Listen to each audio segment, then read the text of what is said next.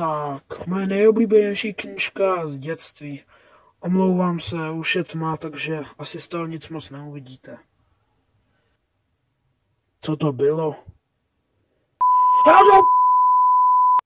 Proč jsem ta zmetka